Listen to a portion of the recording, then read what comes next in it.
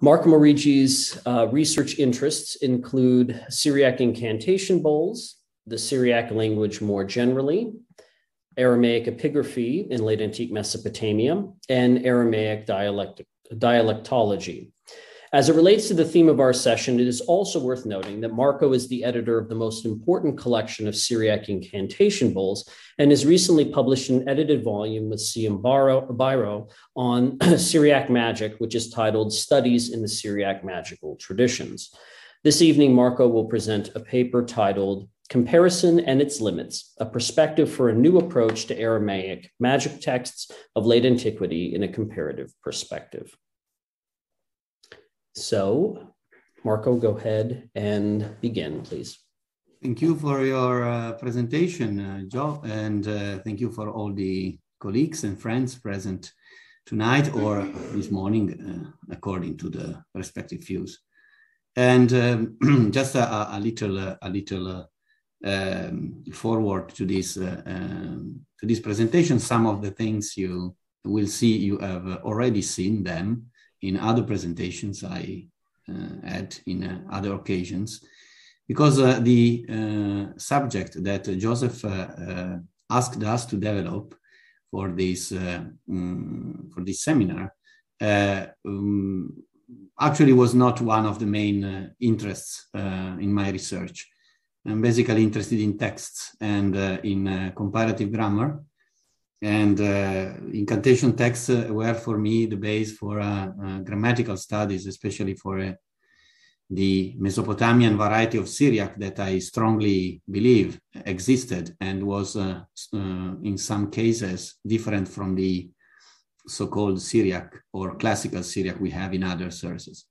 Nevertheless, I of course handled these texts and uh, these texts are to be, of course, uh, treated uh, as uh, uh, according to their specific characteristics. And uh, these characteristics imply the usage of methodological categories. And when you go into these topics that are not exactly what I studied, also during my career, it's of course one of the first situations you get in is the uh, comparison and the comparatism. And so I would like just to share with you what I did uh, meet while uh, comparing texts and uh, being, uh, of course, uh, and again, stressing the fact that my main topic was studying languages. And so com comparison is basically uh, of the analytical type, I would say, uh, rephrasing uh, um, Bonnell and also rephrasing Joseph Sanzo, of course. And so uh, it is a comparison limited to corpora. It's, it's very uh, narrow periods and also, um, in this case, geographical uh, areas. So I will share my presentation, but it is a presentation I uh, strongly, uh, I think that you, in some ways, you will recognize some of you for one or the other seminar we were um, we were part, we were uh, taking part in. I started to begin with a, a, couple of statements that are, in my opinion, uh, quite uh, telltale about what will we see at the end of the presentation. What are the uh, conclusions I got, uh, of course, uh, just for my experience, then I will will be happy to share the vision, the positions of colleagues and to know them, of course.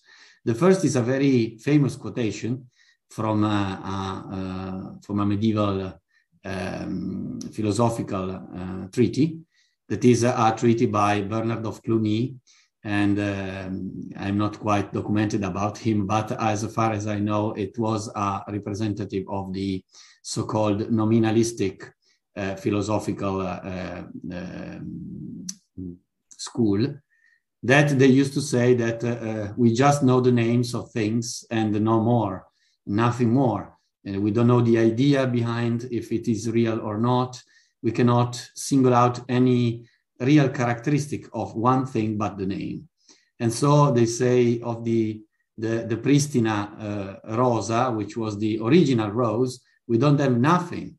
Uh, we just know the name. And so we know just the, the simple names of what we are faced in uh, texts, uh, especially when they tell us things that are uh, related to the past. On the other side, I tried to switch in a more poetic, if not a dramatic situation. So I, try, I chose uh, an, uh, worldwide well-known tragedy, uh, William Shakespeare, Romeo, Romeo and Juliet. And this is a, a, quite famous also quotation. So Juliet asks what's in a name and uh, uh, she uh, gives herself an answer that which we call a rose. By any other name would smell as sweet. We've seen that rose is just a name, but we all know this, this sweet smell and uh, uh, the name of uh, the just the name it's Rose. So Rose is just a name. On the other side, Shakespeare demonstrates to um, to know the sorry the, the presentation has been stopped okay just a minute okay no, it seems to be uh, aware of this uh, tendency of the so-called nominalistic um, uh, school. What you see here is uh, the object of my study. It's now 20 years. And uh, incantation, Syriac incantation bowls uh, with the corpus actually reaching the number of 165, but it's mm, surely of some more pieces.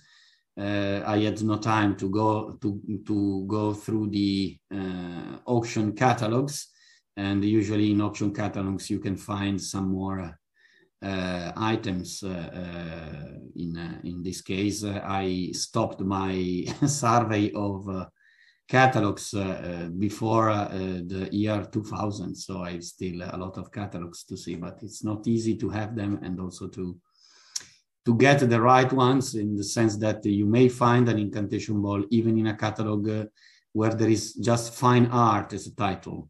And so fine art, you can find everything as you can easily understand. What I uh, tried to do is that uh, as, uh, as I uh, as I did during my uh, the past years, uh, I tried to do a little exercise of comparativism when I tried to uh, single out uh, a, um, a, Jewish theme, the so-called divorce text in uh, Syriac incantation bowls. And of course, in this case, I had to, and that's why my first step in the in the uh, in the uh, history of uh, the research uh, in, of my personal uh, path into comparativism in the sense we want to discuss tonight i had to uh, step from the simply analytic dimension which was an intra syriac incantation ball perspective to an uh, would say the other use of comparativism which is the illustrative one. It means that I had to find more general categories that were to uh, comprehend both the cases of Syriac bowls and the cases of other bowls. For example, I, uh, and I referred to a very famous study of Sebastian Brock about the Jewish traditions in Syriac sources. Of course, adding to the traditions singled out by Brock the incantation bowls and amulets I was uh, studying. And uh, uh, of course, there were themes that I could single out and that I went on searching for them in the text. And uh, I so uh, got uh, conclusions regarding both the Jewish text, which you see in the first quotation, the first red square in the, in the slide, which means that I found uh, uh, while I was searching for Jewish uh, items in Syriac bowls, I found uh, Christian themes in Jewish bowls, of course. So comparativism, when it's extended in a certain area, of course, gives results. I experimented this not only one, but the two ways. So you can get also the reflex of what you are searching in one source in the, in the other. And uh, uh, I got some, uh, the conclusion you see in the second square as are already published since some years. So I got a series of data, but the most striking for me was this, of course, was uh, uh, the uh, C and D that are more concerned with grammar and with lexicon.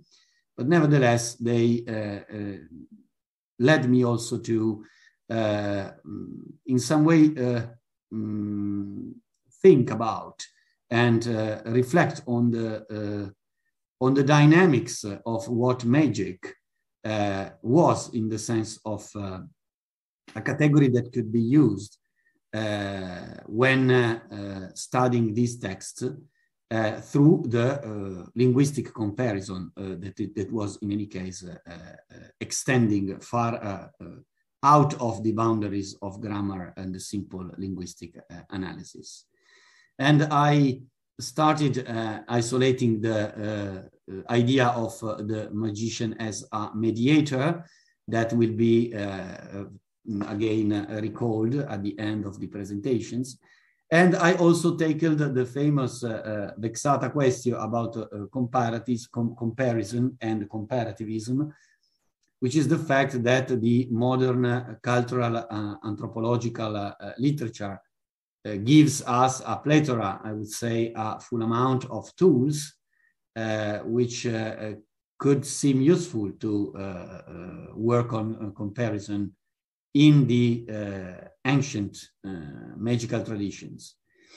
I don't think that is mm, absolutely automatic uh, in the sense that, of course, uh, even primitive societies uh, investigated by modern scholars are not the same as ancient societies that were not investigated by any modern scholar, of course, in a contemporary, on a contemporary base. Uh, and this, in any case, led me to try to uh, reflect on some kind of models the modern anthropologists provide uh, in, in the context of the study of magic, and not only in the context of studying of magic, but in general in the context of study of societies and their cultural, uh, the, the cultural phenomena that are linked to the life of societies. So while I was doing that, uh, it came uh, it came out that I could, at least tentatively, uh, use uh, some word to um, uh, I would say, a project uh, the uh, model of my comparison, the comparison I was much at home with, which is, of course, a grammatical comparison. And so the, the exemplary word is translation, of course. That's the category I had in my mind. Of course, translation is a very complex process, but uh, it is a substantially a transfer that goes into an adaptation or adoption, which are two uh, different phenomena that I, I, for the moment, put in that same case, and then the absorption in another context. That's what I did, basically thinking about uh, linguistic, uh, linguistic uh, phenomena.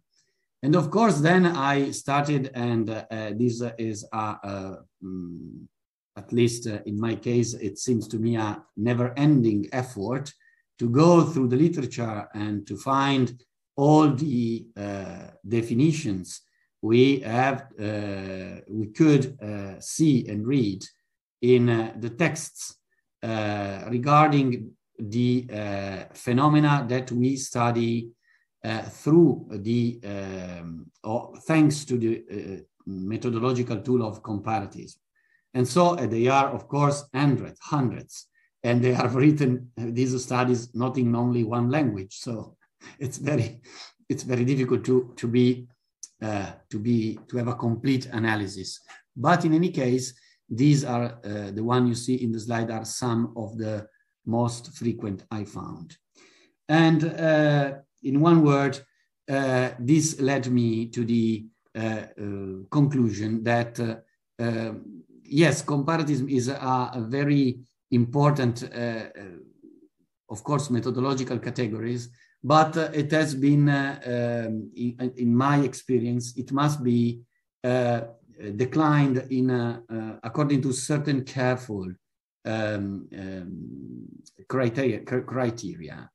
And that these criteria are basically inspired by the caveats of this study by Stern, but also by other studies. This I quoted just because it is a very, uh, I saw that this book had a great editorial success, so I could uh, quote it in, in order to uh, let also uh, colleagues and friends to locate it in libraries. I see that it is, uh, it's the archaeology and the material culture of the Babylonian Talmud. It's, it's quite, uh, it, it, it, it went it went very uh, for me it goes also beyond the scope of the volume. It's very important and very interesting. So as i said uh, i uh, basically uh, found myself uh, in agreement with the idea that it is an idea of bonnell that i found also in uh, um, in, jo- in joseph Sanzo's studies I'm not saying this, of course, because Joe is a friend and is our, but it's it's real because I I tried to to find something more about comparison, and I found out that analytical comparison, which is the comparison uh, that it is uh, oriented around similar kinds of individuals or uh, uh groups uh, in a particular period of time, and I would say in a particular kind of items in the case of in magical uh, texts is very fruitful as a, a, methodological tool.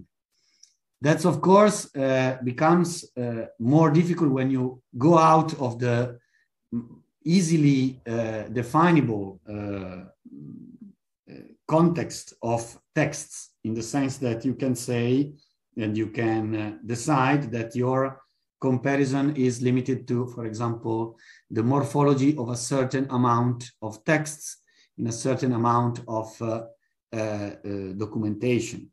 And as I told before, during the, the minutes preceding our meeting, many, many doctoral dissertations, I also had the honor of supervising some of them. Uh, are based on, for example, corpora of manuscripts, and they are and they are these corpora are, are chosen basically, for example, because are of the same period or the same scribal school or the same uh, area or the same monastery. In the case of Syriac, for example, this, is, this was one of the more, uh, uh, much more used criteria, especially in the past decades and I would say centuries. And this is, of course, the conjugation, the, the um, uh, working together of these two kind of approaches uh, of the comparison that led me to share the idea that uh, as uh, Giuseppe Veltri wrote uh, more than 10 years ago, but not only Giuseppe Veltri, now I have, it comes to my mind Giuseppe because we discussed this sometimes in the past, that magic is particularly difficult uh, when it is the object of comparison because magic has no uh, existence of its own and magic is a relationship and uh, the relationship work like processes. And so you don't have let's say for example uh, uh, a, a, a, ceramic, a, ceramic typology or likely things uh, that you can compare from the material point of view, and then you can limit yourself to a, so a series of well defined characteristics. The process and the relationships, uh, uh, of course, uh, change uh, over time, place, but I would say over people. So each actor uh, in the magical process can, of course, uh, refer to the process according to his or her personal uh, inclination. So um, magic is something that uh, it's not safe or joke, but it says quite in this case, it is a, an hidden, it's the hidden part that is uh, the interest of magic. It's not much the uh, non-unhidden part, of course.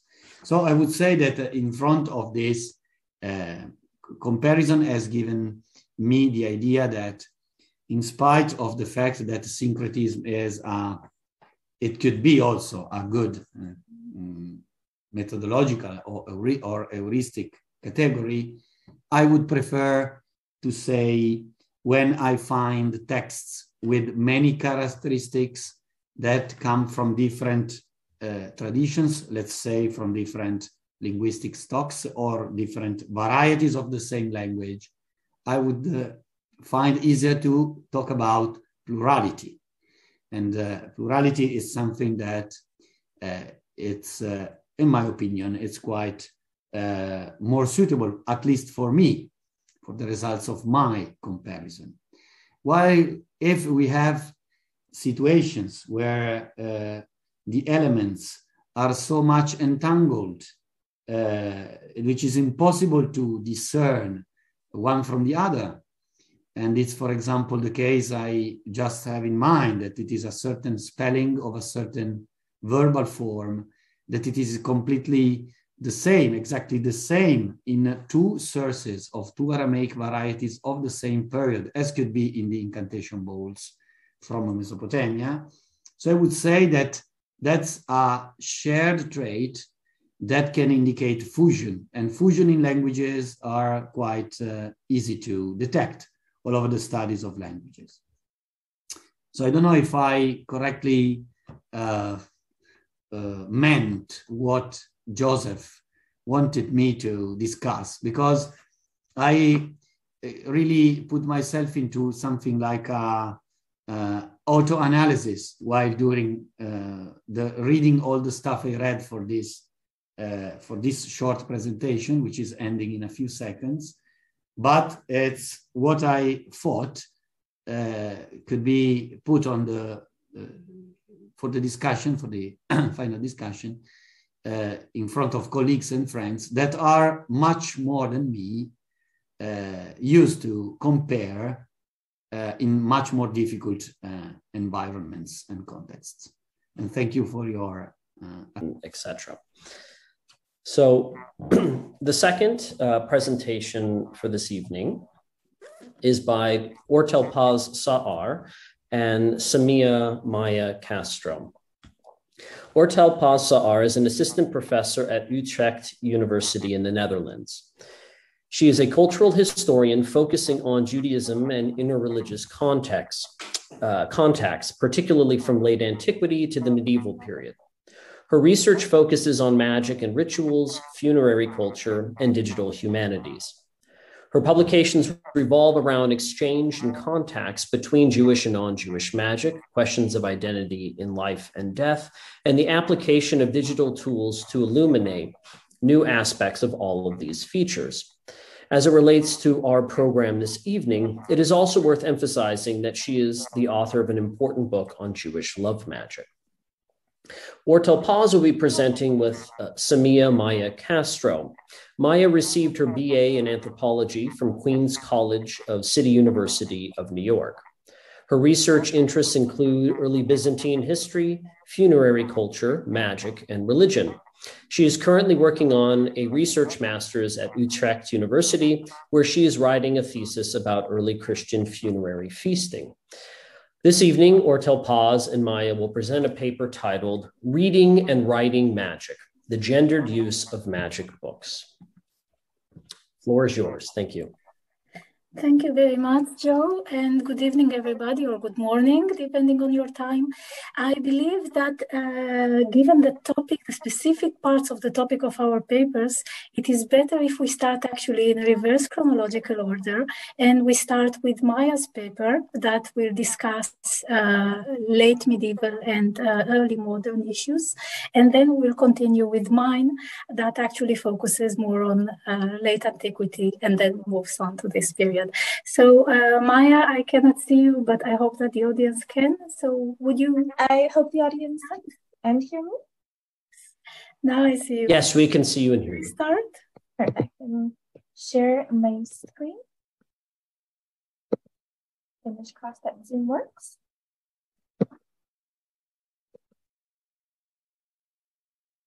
Can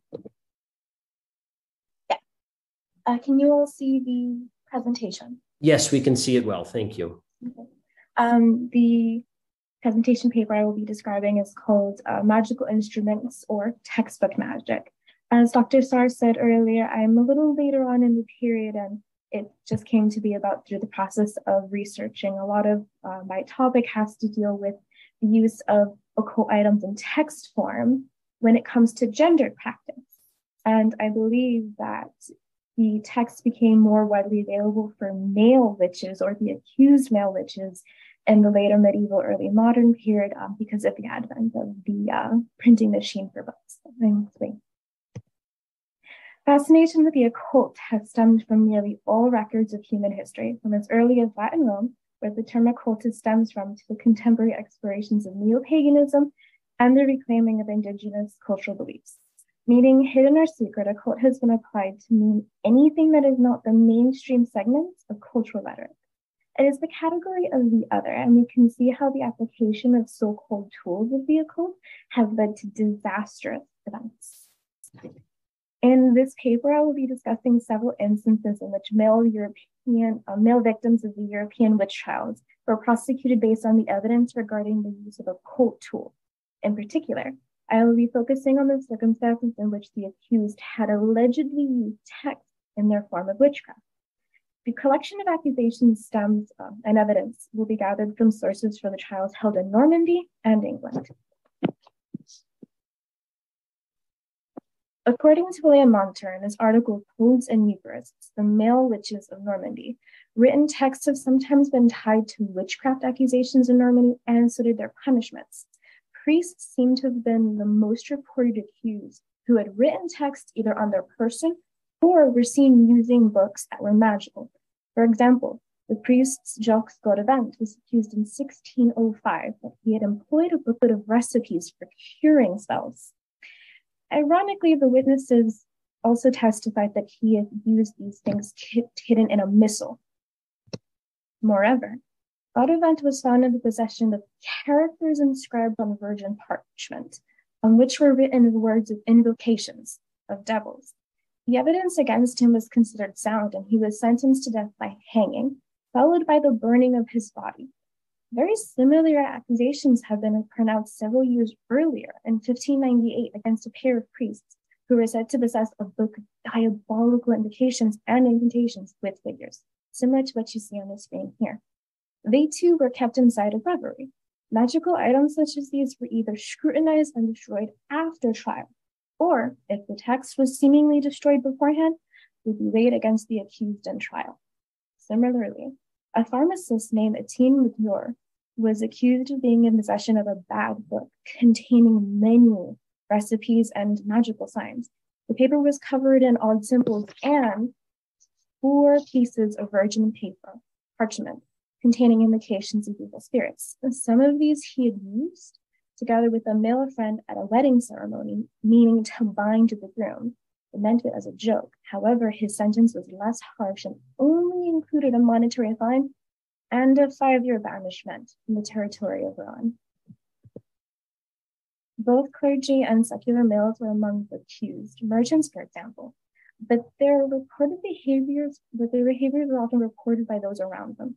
Social suspicion is what has led to these deaths in nearly all of the document cases with magical texts, such as described by Monter.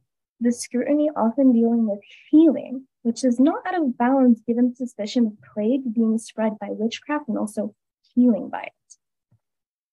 What is important to note is that in Normandy's trials, summarized by William Monter, some of these male defendants were accused of owning or using these written texts, inscribed parchments, booklets, and full-scale grimoire. These objects do not appear in any of the trials for female defendants from the same place and period. In the article titled Masculinity and Male Witches in Old and New England, 1593 to 1680, E.J. Kent refers to over 86 cases of male witches from Essex, England. From these cases, we can see that the men were almost just as likely to be suspected as witches outright, and not simply by other accused. In Normandy, social positions varied in terms of accusations. However, in Essex, there was a higher correlation in men accused of having higher social positions within their own community. Next, in her book, Cases of Male Witches in Old and New England, E.J. Kent writes Just as the ideal godly man of early modern English communities was a scholar, so was the ideal evil man. Reading was a morally ambiguous activity. This is how and why Kent suggests uh, male witches were more bookish in contrast to female witches. The Essex male witch was closer to a scholar in training, and in addition to their most studious nature, were it seen as less likely to have malicious intent.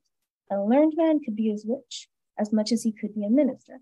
This should not be confused with innocence, since they would also be prosecuted for magic, just in a different context. While female witches were seen as inherently accused of malicious intent, maleficium. Male witches were indicted for magic, and from there would have more of a choice in terms of intent. As stated earlier, a male witch, still a witch, and thus required a form of punishment if it could be proven. The accusation of a male witch was not wholly related to the question that the man in question was bookish, but it was a component. Overall, the male witch needed to be sufficiently antisocial to meet the expectations of um, antisocial to the expectations of surrounding English community. These behaviors for men were often community infighting between neighbor or a series of neighbors, even brought up in the court system, be it local, county, or central. More often than not, it was other men who would accuse the, the male witches. And so their issues would be tied to the male sphere of traditional patriarchy. If magic can be a tool for helping and hurting, that the accusations of magic is the other side of the coin. A magic user is both a benefit and a danger to their community, and it is up to that community to say which. In Normandy, a witch was not the archetypical woman, but could be a shepherd, a man out of bounds from the local society exposed to wilderness, where they also had access to occult items such as food venom and other types of animal magic. On the other hand, witches could also be priests, Persians, pharmacists, or any other type of literal men, literate men. In these cases, books and other forms of written magic feature in the accusations. In England, the male witch was the bookish type who needed to blend in with male expecta- with English expectations of what patriarchal manhood meant among their non-witch peers. Failing that meant the accusations being brought up constantly until the matter was finally resolved, be it in exile or death. From both Normandy and England, we can see that it is the suspicion of intent and not necessarily the evidence of texts that have led to the male witch accusations and ensuing deaths. The suspected intent was scrutinized by the local community, and if the men in question were found wanting in terms of expectations, they would be brought to trial. While women were seen as inherently tempted to do witchcraft, it was the male witch who failed to retain the lack of, of inherent temptation. He had the choice to choose and chose wrong, given more agency than the female witch, but punished harshly for it nonetheless.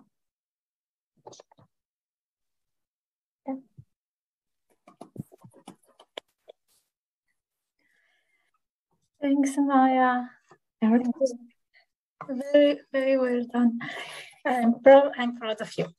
So I will, uh, I will continue uh, now with uh, with my part of the presentation. And again, thank you very much to to Mya, for whom I think this is the first international presentation. So uh, you you've done very, very, very well. It's it's really nice to hear that. Okay, um, so again, uh, good evening, and I will also start uh, sharing my screen. Just a second. Okay, and there we are. Okay. Uh, so again, this uh, the topic of uh, my part uh, of the paper is again the reading and writing of magic or the gendered use of magic books. And uh, this paper started from uh, my interest in the possibility of employing ethnographic or anthropological comparisons for the study of ancient magic. It is well known that the further back we go in time, the smaller the amount of data that illuminates the circumstances surrounding magical practices. We benefit from the survival of magic texts and objects, and sometimes from the existence of non magical sources, not emic but etic ones, that shed light on magical practices, but the information remains scarce in comparison to that from later periods. One topic that I found particularly interesting was that of the gender of magic users and producers. Scholarship of ancient and late antique magic tends to refer to this topic quite rarely. And this is one of the reasons that I thought we should do this presentation in a comparative fashion. Uh, and in fact, it ties in very well with what uh, Marco was saying before in his paper about the fact that there are limits to comparisons, comparisons and its limits. Nevertheless, some comparisons can be proved to be useful. So what I will be doing today in my presentation is first of all continue with this introduction about the gender related aspects in the produ production and use of magic manuals. And then I would like us to look together at some of the early evidence and the questions it should raise, but unfortunately it rarely does. And then move on to look at one particular piece of uh, medieval and early modern evidence. And lastly, I would uh, sum up by offering some reflection on conclusions and some desiderata. So, as I, as I mentioned before, uh, the topic of the gender of magic users and producers is rarely discussed in scholarship. In fact, scholarship of ancient and late ancient magic tends to refer almost invariably to the producers of magic texts as male.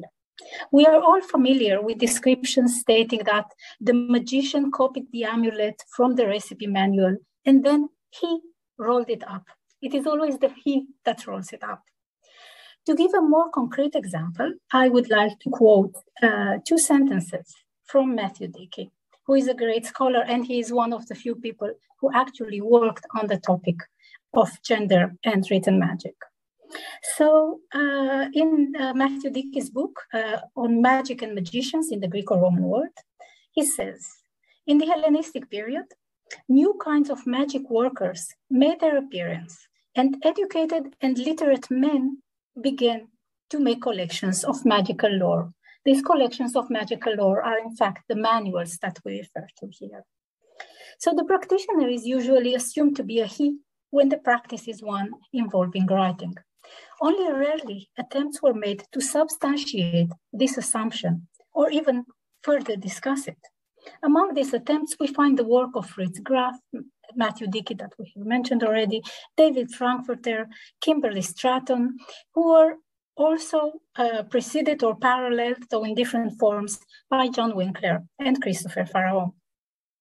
Now, in the second quote from Dickey that you see here, when he discusses the practice of love magic in Roman Egypt, he suggested that, for all we know, women may have had a preference for forms of erotic spells that leave no trace in the material record.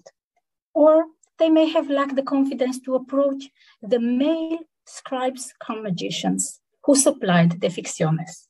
Or they may have lacked the financial means to pay for the services of these scribes come magicians.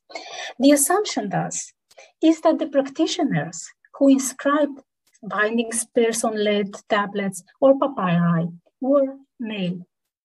When he referred to the authors of the formularies, however, in a different place in that article, Dickey did not engage in a discussion of their gender, thus following the same assumption quoted before. In the case of ancient, late antique, and medieval Jewish magic, we encounter a similar situation that most of you are probably familiar with from your reading of scholarly literature from the past decades. The topic of the gender of producers and users of, mag- of written magic is rarely discussed. When the topic is mentioned, for example, in the work of Gideon Bohak, who is here in the audience, also then it is only briefly. So, for instance, Bohak says, by referring to our scribe as a he, I do not wish to exclude the possibility that the amulets, in fact, were produced by a female practitioner. But given the gendered aspects of medieval Jewish literacy, a male producer seems more likely. So, here too, even though there is some mention of magical practices, we have almost no mention of magic manuals or formularies nor of loose recipes, such as we know circulated throughout late antiquity and the Middle Ages. Consequently, the positioning of gender in the scenarios of written magical practices remains obscure. I am currently working on a larger project meant to illuminate some parts of this picture. In a paper recently presented at the Yale Judaic Studies Conference on Aramaic incantation bowls, I discussed the gender of the producers and users of these objects, the bowls, in their late antique Mesopotamian context. I have shown that current scholarship takes for granted several gender related issues and that it would be beneficial to the study of magic bowls should these issues be addressed systematically.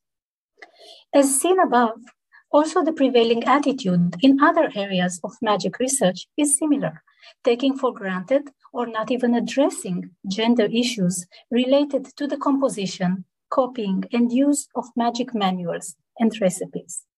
When these are addressed, mostly one gender features in the story, the male one. The purpose of my paper, thus, is to question this historiographic preconception, not to prove it wrong, mind you, just to question it, and to see what benefits could be found if we apply a comparative approach to the study of gender and magic books. Let us look first at the ancient evidence concerning the gender of magic manuals, users, and producers. In his book on grimoires, Owen Davies states that evidence of women owing or using grimoires, so books of magic, is scant before the 16th century.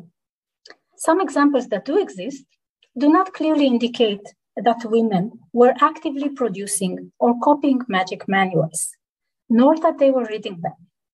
Also, in literary sources from the Greek or Roman world, there are almost no suggestions that women were employing magic manuals.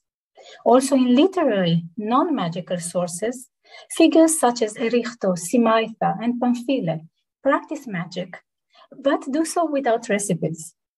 A possible exception is Horace's poetic descriptions of poetic description of Canidia, where in one verse the poet refers to the books, quote, books of incantations, whose effect can unfix the stars and call them down from the sky. But this is part of an adjuration uttered by the male speaker, and not necessarily suggests that Canidia herself was seen as using such books. Now, Jewish sources referring to male practitioners of magic, labeled witches or mechashefa, do not describe them either as employing books nor as performing magical practices that involve writing, which is one of the topics I described in my previous paper on Mesopotamian bowls. On the other hand, we also do not hear of men employing such manuals, despite the fact that they are known to have existed. A fragment of such a manual was discovered in Qumran and dated to the first century BCE. It was edited several times, and probably the most precise rendering was that of uh, Joseph Naveh, uh, who also uh, mentioned it in a broader magical context without discussing gender, of course. And this particular fragment mentions harmful male and, super, and female supernatural entities. In this, it resembles in part the incantation books, as well as a rather strange phrase about women in confinement who bear children of rebelliousness and evil irreverence. Now, this fragment is written in what is described by Naveh as a semi formal hand, meaning that it was not necessarily the work of an expert scribe.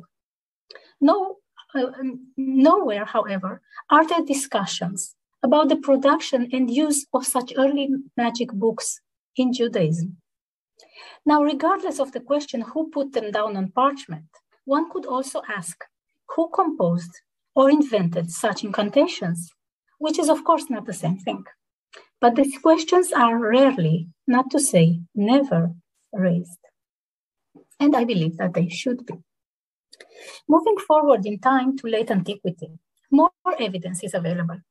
Manuals of magic, such as the famous Greek magical papyri or the Jewish Book of Mysteries, Sefer HaRazim, have survived either in the original or in much later medieval copies, yet they all preserve a rather clear picture of magical practices from the early part of the first millennium CE. These manuals are taken to be compositions of male experts and this destined for the use of male practitioners, even though some of the recipes they include could very well have been of use to women. Furthermore, some of the recipes do not include instructions for inscribing a text for which the practitioner would have needed to be literate or able to write, but only instructions to manipulate some magical materials or to utter a brief incantation that could be remembered by heart without needing to write it down. Thus, if a Jewish woman in 4th century Alexandria had a male friend who wanted to read to her from Sefer HaRazim, she could actually learn magical practices that she could use later without needing to write a single word. Not only that, but we can actually get rid of the male friend and raise the option that the Jewish woman herself could be able to read the Book of Mysteries in the original, as we know that some Jewish women during late antiquity were literate, and even more than that, they were learned, they were schooled. Such evidence, in my opinion, should raise the set of questions that you see here on this particular slide. These are questions that have rarely been addressed for late antiquity, and I believe it is high time that they should be. This is where the benefits of comparisons come to the fore. I would like us to travel further in time to 14th century Italy, to the city of Perugia. Here in 1347, the court of the medieval Inquisition prosecuted a woman from Pisa by the name of Ricola di Puccio. The charges brought against her were sorcery, and she was identified as a venefica et incantatrix et invocatrix malorum immundorum spiritum. So she is invoking these uh, evil and dirty spirits. Uh, and this is why she stands trial. Now, among the practices that are recorded in Ricola de Puccio's uh, accusations is one related to love magic. And this is how I actually got to this particular uh, passage, which I also quoted in my book about love magic. She was accused that she tried to separate a married couple using demonic adjurations in order to make them hate one another. The accused took an egg laid by a black chicken. She cooked it and she split it into two, throwing half of it to a dog and the other half to a cat. While doing this, Ricola was said to have explain, exclaimed, May the love of these two be divided as this egg is separated, and may there be love between them as there is between this dog and this cat. Other two people from Italy used the same method in order to separate a pair of lovers. They, they uh, are attested in the city of Modena some 170 years later after Ricola de Puccio stood trial. And by the way, her trial ended with a death sentence as she was burned at the stake.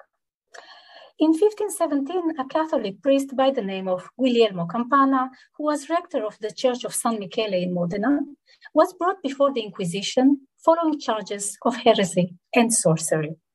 And among other magical actions that are similar to the ones mentioned by Mya in her paper, he was also accused of teaching other people a recipe to provoke hate between different persons, taking an egg and using many superstitions and feeding it to a cat and a dog. The word superstition here, of course, as you can understand from the context, refers to magical formulae.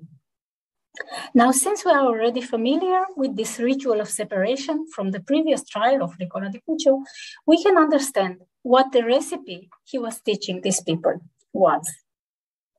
Two years later, again in the judicial protocols of Modena, we encountered the description of a magical procedure that is very similar to the previous two. In this time, it is said, this time it is said to have been used by a woman, Anastasia da Cutigliano, nicknamed La Frappona, who also wished to separate her own lover from another mistress he had, Polissena. And the trial protocol states that she also took an egg, cooked it in water from three, three fountains, and then split it with a thread and wrote the name of Giulio on one piece, the name of Polissena on the other. And of course, you can already guess the rest. She fed one part to a cat and another part to a dog. Now, what do these trial protocols from Italy have to do with the question of magic manuals? In two recipe books from the Cairo we encounter the exact same procedure for separating a pair of lovers, once in Hebrew and another time in Judeo Arabic. These fragments are paleographically dated to the 14th or 15th century, so they correspond to the period when the same magical practice is attested in northern Italy. If we were to rely entirely on the assumption that only men composed and used magic manuals, then the intricate relationship resulting from this story that I have shared with you would be lost. Here, however, is an obvious case where a magical practice circulated between men and women, and at some point, someone wrote it down on paper. Maybe conversely, it began as a written recipe invented by someone, either a man or a woman, that was later transmitted or read by women such as Ricola de Puccio. So we have here a very complex and intricate relationship in which some recipes appear on paper in magic books, and they are also shown to have been put into practice in several trials from a totally different country and a even a different continent. In this case, at least two of these cases are by women. So they appear in recipe books on the one hand, they are used by women on the other hand. What is the relationship between these cases? In the last part of the paper, I would like to mention that women could also employ written magic objects, meaning books or loose leaflets with recipes, in other ways than just reading them or reproducing their content. What I refer to is the magical use of books, where the book functions as a powerful magical object due to its content, but the content is not used or referenced in itself. A common example of this practice that still exists today is the carrying of little Bible or, or psalm booklets on one's person. This is a common apotropaic and beneficial practice. And it could have been used also by some women in antiquity. And in fact, we have evidence suggesting that some of the women accused in trials of being in a possession of a magic book were not able to read. So they just held to that magic book, probably for its magical properties, but not to its content. To conclude, this paper was meant to put forward some questions and rather unexplored topics in the field of written magic. The topic of magic manuals and their use by persons of the male or female gender. I have tried to show that ethnographic or anthropological comparisons can shed light on the gendered use of magic manuals in ancient historical periods. And I believe that also the part of the paper read by Mya has done the same. More work needs to be done on the topic. I suggest that the following research steps should be threefold. First of all, raising the awareness of historians of ancient magic to the gender related questions pertinent specifically to the study of magic manuals and recipes. The initial and almost all pervasive scholarly assumption is that men composed and copied down these recipes the subsequent, the subsequent assumption is that they were also the ones who used them in order to perform magical practices, especially of the written kind. Women, the scholarly assumption goes, perform practices transmitted orally. These three assumptions need to be placed on the scholarly table and discussed systematically, first in light of evidence in antiquity. Particularly, we need to ask what the relationship was between women and these objects. It is evident that some women in late antiquity and in the Middle Ages were literate and could both read and write. If they wanted to compose magic manuals, they could. If they wanted to copy already existing manuals, they could. And if they wanted to merely read such manuals, they also could. The question is whether they did. The second and closely related step is to examine the collected data from antiquity in light of later ethnographic or anthropological comparisons. What do modern or early modern, but more particularly modern women who practice what we scholars describe as magic do in relation to books? Modern ritual practitioners from the Middle East or from all around the Mediterranean are both male and female. Literacy rates today are different than in the past, with many women being able to write and even more being able to read. How do these women acquire their magic knowledge? And how do they transmit it to others? Do they employ magic manuals in order to learn how to perform healing, apotropaic, or aggressive practices? Or are these rituals taught orally by and for these women? And in both cases, who is the transmitting agent? Are these men, women, or both? Do modern practitioners, especially the illiterate ones, employ books of magic in other ways than reading them, namely as magical objects, just as we have seen the little psalm books and the little Bibles? Lastly, the third steps concerns method.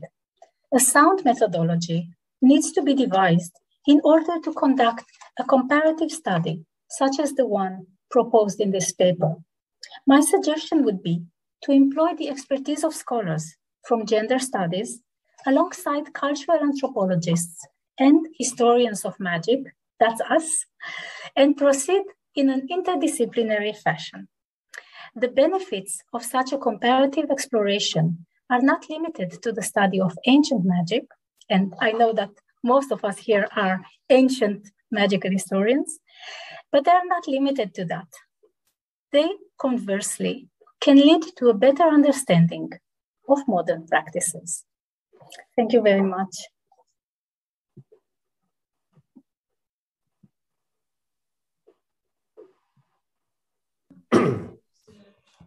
Well, thank you very much, uh, Mya and Ortal Paz. That was great. And of course, thanks to Marco for the first presentation. Uh, I will leave the uh, floor open for questions or comments. Any anybody would like to ask a question or raise an issue? Yeah, Rana. Um, thanks for these great presentations. Um, this is, I, I, guess, a question for Ortal and Mya. Uh, um, uh, I'm wondering whether um, it's possible to think about studying gender primarily in sort of intersection with um, ethnicity and class, um, whether that might provide kind of a further focusing of the comparative cases. Uh, it seems to me that um, since conditions, you know, uh, sociology of knowledge and um, literacy and all sorts of things vary so considerably over these you know different contexts whether um, having an eye towards where gender intersects with some you know other comparative features um, of actors in in our situations might and whether that kind of brings up anything for you in terms of the material you you've been looking at mm-hmm.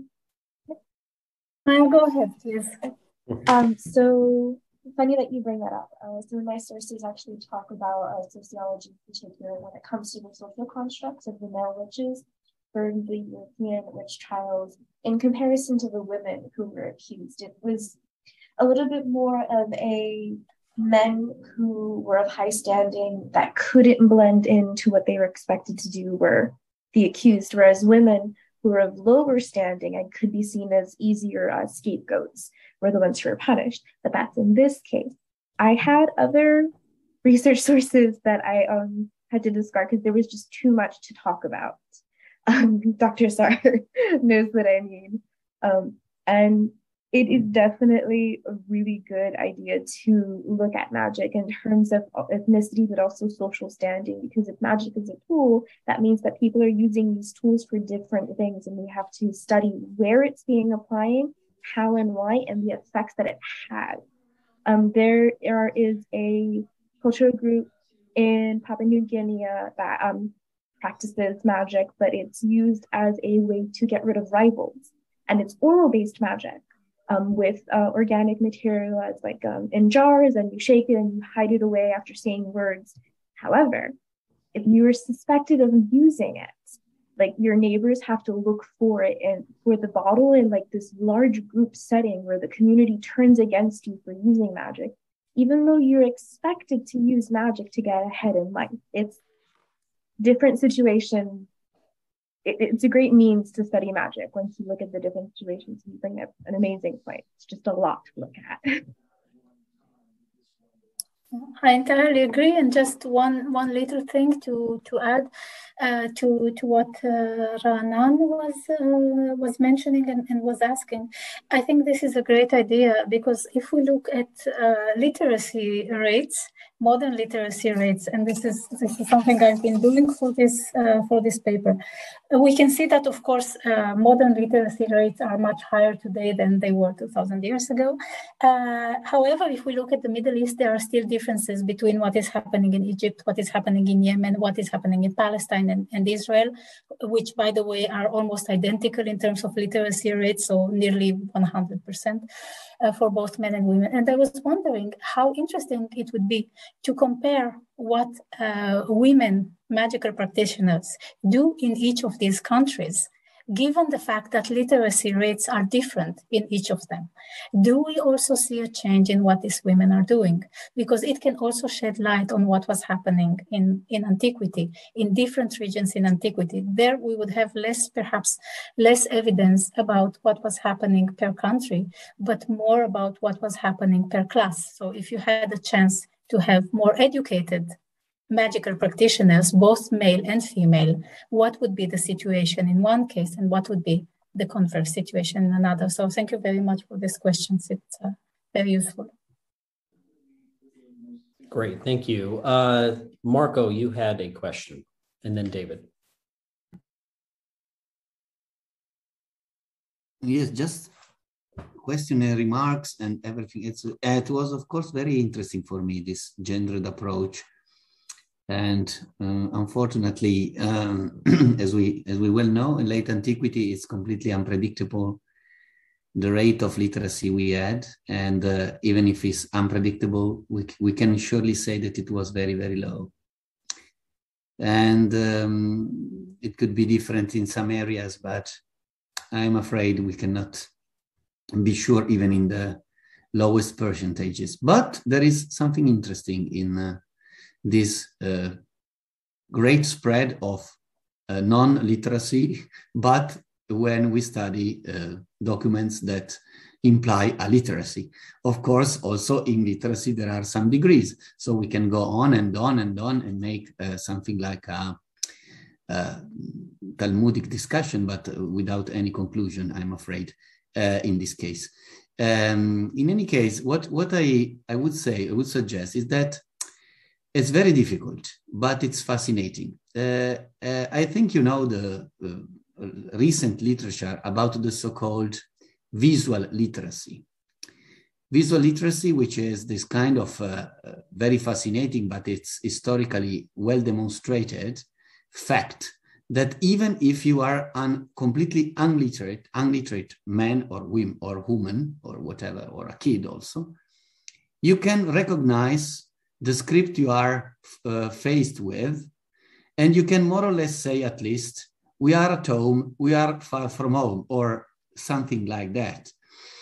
And in this case, I would, I would say that perhaps there is a, uh, an interesting section of our studies that could be investigated in this sense. It is very difficult, I think, but it could be when this visual literacy, literacy applies to uh, what we say pseudoscripts and drawings. And of course, uh, there is, in my opinion, in this visual literacy, uh, the possibility of having a, a, series of drawings or scripts that can, can be attributed to uh, a female scribe. for for some reasons I cannot say, but why not? I mean, if if we can, if we can add, if we can uh, reconstruct for some symbols uh, the old develop development that's maybe easier in medieval and modern times. This could be one of the the ways of uh, throwing light to this uh, female literacy in uh, in incantation text, which I believe there was a share of scribes uh, of female scribes, and that it's that's that's not only because of the comparison in this case as uh, gives us data, but it because it's logic. Frankly speaking, I mean, we cannot pretend that all women were kept under a sort of uh, uh, unliteracy and they could not scribe, they could not write anything, they could not even think of reading something. Simply, the transmission of information about this is completely erased. So, so it's it's all in, in all other fields. I'm afraid. So you can. And just so, sorry, please. So just just say I just, just wanted to say that that also the visual literacy is, in my opinion, uh, a field that we, we, we, we can consider. It's, it's very difficult, but it is in any case uh, could be one of the, the tool we have to recover this, the other side of the literacy we don't have, the, the female literacy in magic. I was just wondering, Marco, because that's a fascinating point that you made about the visual literacy, and that's that's definitely uh, correct. By the way, this this is why I kept referring to they could read and write because we know that these are not the same thing, and some people can actually read, but they cannot write. Uh, they can reproduce uh, some some sort of drawing of writing, but they cannot write actually. So I was wondering how you you because of this really interesting comment, how would you go about first recognizing a set of uh, symbols of or writing that pertain in particular to women uh, in in your field, so in the bowls, for instance. Do you have any suggestions how to start? I I frankly. Uh, mm, I I I got uh, I, I I became aware of of drawings uh, uh, as uh, as they asked me to became uh, to become aware of them. I mean I uh, I was discussing once with Shaul Shaked and he told me, "Have you ever seen? Have you ever considered these drawings?" No, no. I just considered the participles. So he said. So I I so you know. Mm, I come from, I mean, as as a, as my education comes from a very uh, classical philology uh, curriculum, I met, by chance, I met Semitic uh, studies uh, through Egyptology. And so I met Pennacchietti, and that was my Damascus uh, revelation. Uh, you know, I became, it became like a, a, a flashing light that illuminated the fact that I could study Aramaic and and I mean being engaged in this in these matters. So basically, I I started with language, and I'm still you know very much attached to that to to this to this kind of problems. But while reading all this stuff about literacy that I wanted to read because it came it comes out it comes out that something you can, for example, as you said, you can read but you cannot write and so mm, you can copy something likely. So I think that uh, Waller is the man to be asked about this. I don't know if the, the pronunciation is Waller because he's, uh, he, he, he, is, he works in, in the Netherlands or, or Waller, as we would say in, in, the, in the Anglo-Saxon uh, pronunciation. Phonetics, phonetics is very fascinating. You can stay hours to say waller, waller, waller, and the vowel begin, becomes big and, and, and, low and so. But he is he wrote this very interesting paper in 2020 on Journal of Near Eastern Studies, and there about the so-called pseudoscripts. And, and he is a very he knows very well very well the magical literature. I would say the the literature about magic far more better than me and and is very uh, uh there is a lot of bibliography in the notes and that's where that's where i started my exploration of visual literacy. I just just want to add that in this in these very months, uh, there is quite a, a, a, a, series of studies that are being prepared. That I, I, I am seeing drafts about them that are dealing with visual literacy in connection with the uh, invention of the alphabet. So it's it's very it's it's a, a, something that is coming is popping up in in a, in a very uh, in, in, very important I mean uh, uh, and old issues such as the invention of the alphabet. So I cannot say much more. I, I'm afraid.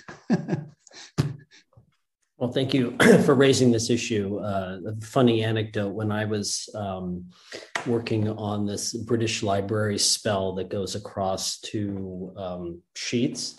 Uh, the British Library, I think it's Oriental Manuscript 67964, 6796.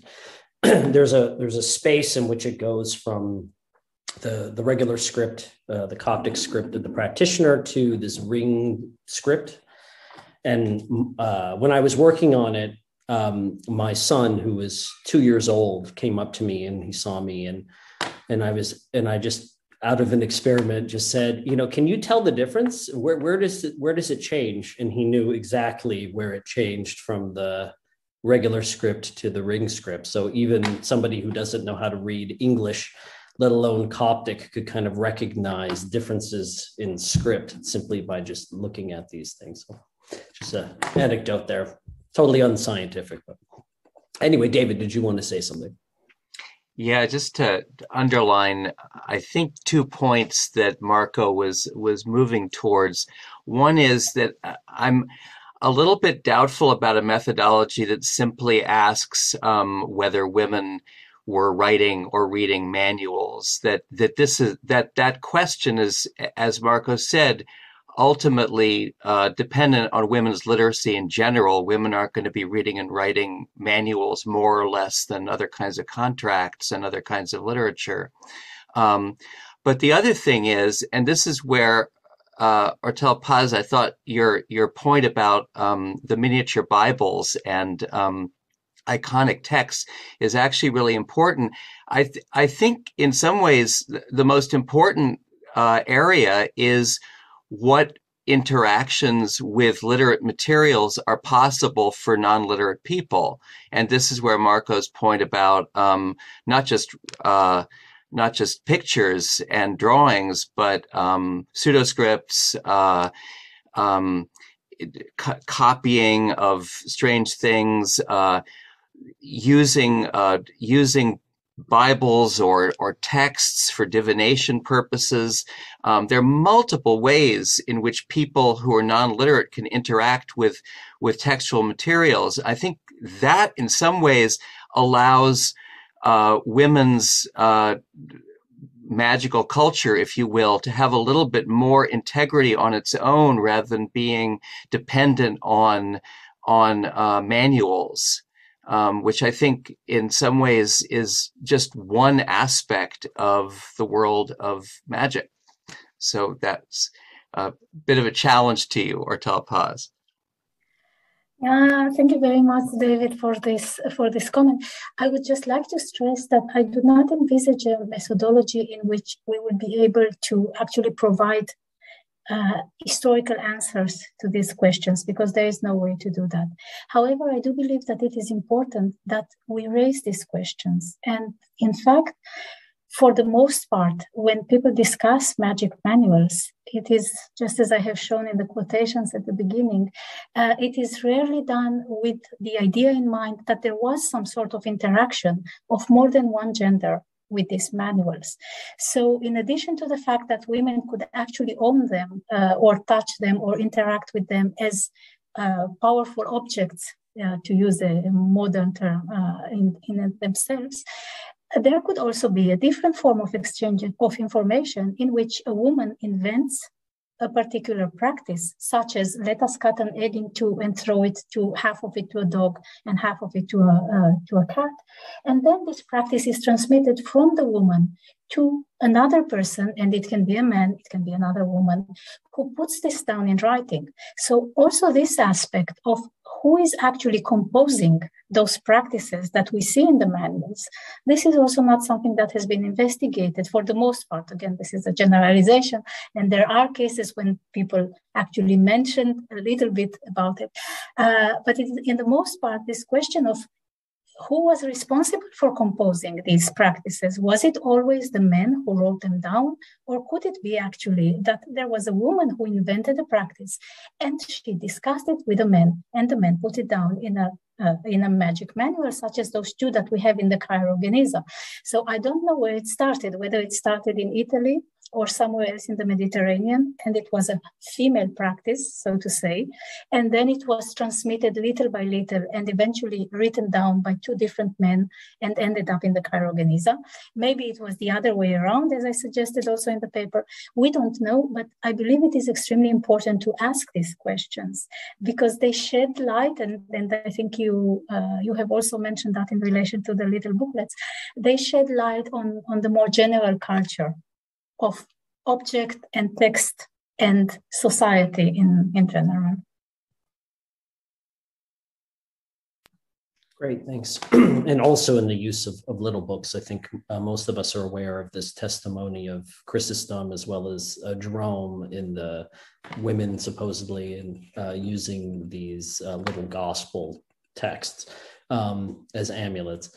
Um, yeah, no, I think it's it's a point well taken. Other questions or comments? I, I was going to say no, um, please. bouncing off what Richard Bowes and um, David had said about uh, the use of uh, the act of writing things and who invented these things. While it's further in the future, um, I highly promote anthropology. I strong belief that a lot of the things that humans do are things that we've done in the past as well, or you know, kind of not necessarily uh, routine, but some things work more so than others. In a case in Slovenia from the 18th century, and also a case in, oh, in Slovenia, and I believe also Russia, one of um, my other sources I'm going to put in, uh, where they have cases of men who were found with these grimoires. Uh, in any other were called books of Golemon, uh, which, when I looked them up, didn't have an outright explanation, but I believe they're a form of the Book of Solomon. If the men were found having these books within their family, all of the women associated with that man would be assumed to be a witch, be it a sister, a mother, a daughter, however long. And if a witch was found within the community, the suspicion on her would also fall in line with the rhetoric of whether or not a man in her family had the book.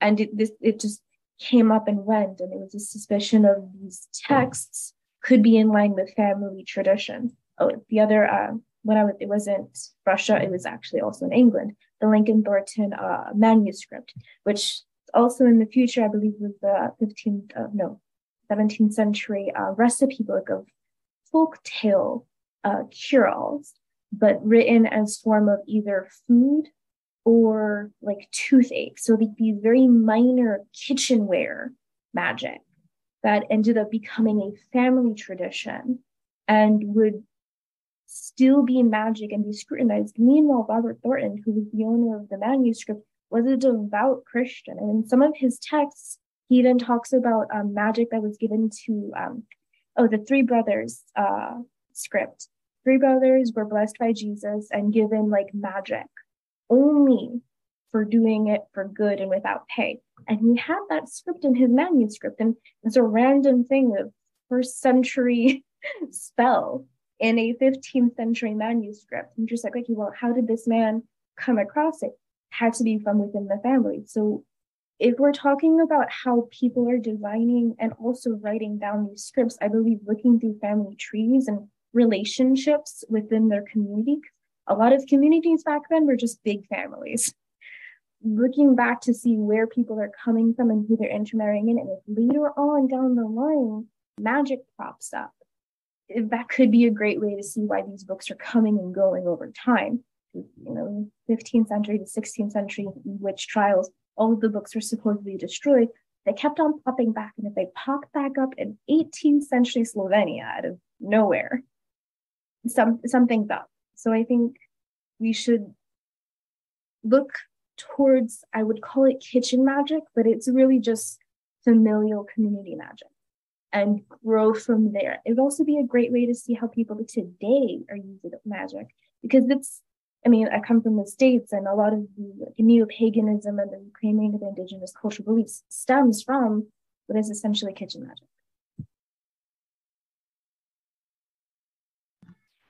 Thanks for raising that. Uh, Marco, you wanted to respond.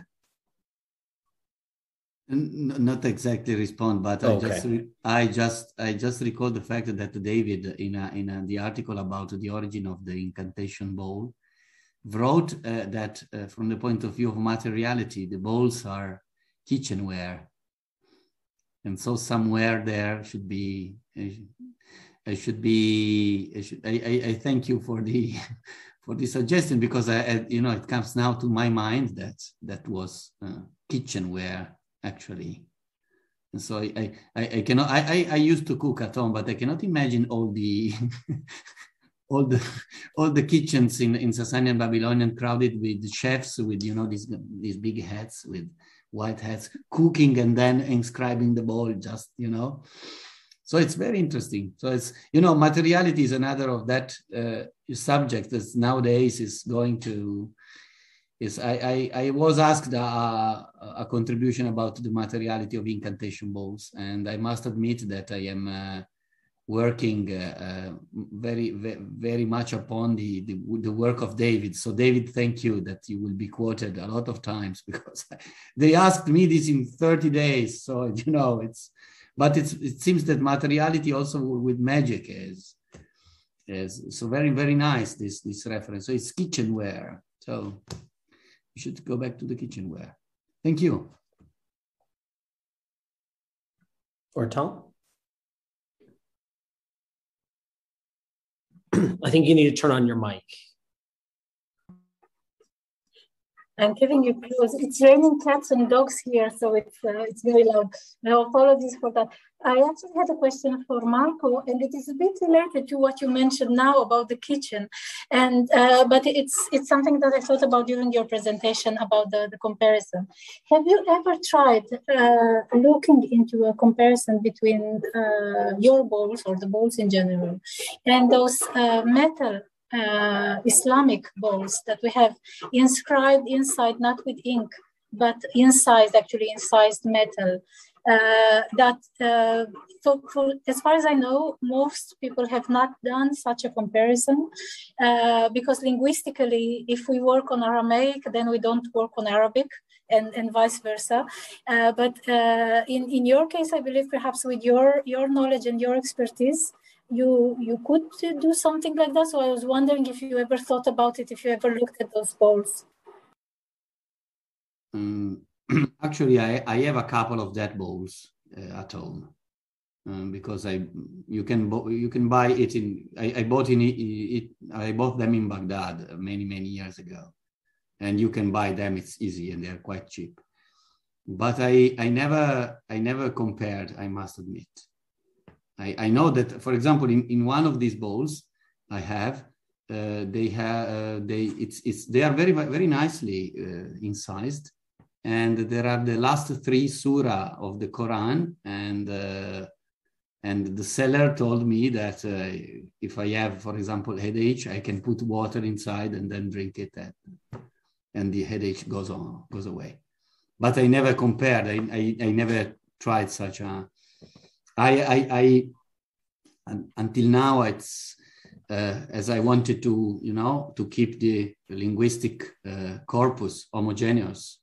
I did not, uh, if not very rarely, uh, consider uh, texts outside the uh, geographical and more or less chronological framework I decided to work on that's that's a common, of course, methodological approach in uh, linguistic uh, uh, diversity investigations. that's it's quite clear that you cannot investigate the language of Shakespeare compared with the nowadays Cockney dialect in London. or I would say better in London in, in the Cockney. In any case, uh, that's that's quite uh, limiting from the point of view of comparatism, uh, of course, in the in the other sense. Uh, but it's for linguistic studies is fundamental. So I never did this kind of uh, this kind of comparison. Sometimes I quoted amulets, but Syriac amulets that are very few and that are uh, difficult to read. I think that Niels could uh, explain us how it's difficult to to read. Or today nowadays, the, the text read by Gignoux are almost disappeared uh, on the on the manuscript. So, but I did not do this comparison. Gideon, you wanted to say something. Just a short answer to Ortal's uh, question. Yuval Harari wrote two papers in which he surveyed, unfortunately they are in Hebrew, but he wrote two papers in which he surveyed the whole phenomenon of bowls moving up to modern Islamic bowls. So there he has, and he has nice images, and you can show that, and he doesn't argue for continuity, but he says, look, we have here, at least the artifacts sometimes look a little bit similar. So, so he covers all this ground. Yeah, so these articles, thank you, Gidi. These articles I know. Uh, however, most so most of the people who have done this type of work have not really looked into the uh, Arabic, the early Islamic metal bowls that are in fact chronologically adjacent to what we have from the Aramaic uh, bowls because they start early.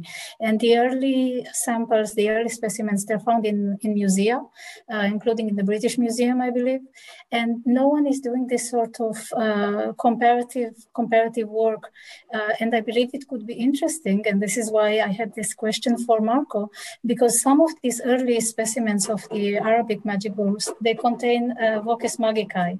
And I have a feeling that some of these voces magicae could actually be Aramaic text that if we only had uh, enough uh, patience uh, to look into this Arabic uh, Arabic text, we would discover actually uh, some of this uh, some of our originals. So I could I can show you one that is that I think I identified as Aramaic, but my Arabic is insufficient to actually conduct a full scale project on that. But this is why I asked Marco this should be relatively easy to verify. So, you know, if you want to send me the Arabic text, I can tell you, at least, you know, I, I can I can see and, and see whether it makes sense in Aramaic or not. Because there, there, of course, Arabic magical texts have numerous voces magicae taken from all over the place. So, yeah, it would be interesting. As far as I can see, there is a, a, a bowl uh, I talked about with uh, James that is written in uh, Kufic, but it is the language is Syriac. So, yeah, and of course there, there are several Arabic language bowls, very few, but of the of what we call you know the incantation bowls, yes. the clay bowls, there are a very uh, small number. There's a very small number of uh, bowls in Arabic, clearly going up to the eighth century. So this is something we can document from the from the Arabic bowls.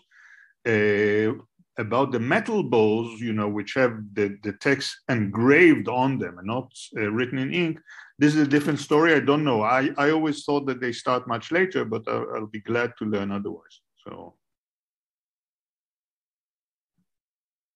Great. Any other comments or questions that anybody wants to raise? Well, thank you everyone for this uh, very successful first session. We'll be having more uh, as part of the project um, coming up, especially in the fall. And uh, please join me in uh, visually uh, thanking our speakers for uh, really two slash three wonderful papers. So thank you very much. Thank you very much, Joe, and thank you everybody. Thank you, Thank so you very much. It was very nice. Very interesting. Thank you for. Uh... Oh wow! Thank you. Oh, we all enjoyed it. Oh, Abigail is. Uh, yeah, yeah, yeah. Got the I whole gang there. Yeah. Um, they were very interested to know what is Ranan's cat's name. Ah. Oh wow! There's a lot of people there. Uh, this is Neko, um, which means apparently, you know, the cats that do this, you know, maneki-neko. nice. Bye. Bye. Thank you. Bye, everyone. Bye, Thank you bye. again. See you. Bye. bye.